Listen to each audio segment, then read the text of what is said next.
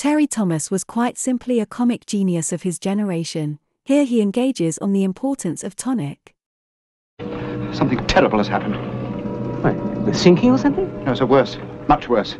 We'd run out of tonic. Run out of tonic? But that's not terrible, that's catastrophic. I'm sorry, sir. You're sorry? What do you mean you're sorry? It's like Napoleon saying I'm sorry after the Battle of Waterloo. Perkins, do you realize that gin and tonic is the cornerstone of the British Empire? The empire was built on gin and tonic. Gin to fight the boredom of exile, and quinine to fight malaria. How else do you think we could have carried the cross of responsibility for the lives of millions without the friendly fortitude of gin and tonic? And you've run out of tonic, Perkins. That's treason. Go before I strike you.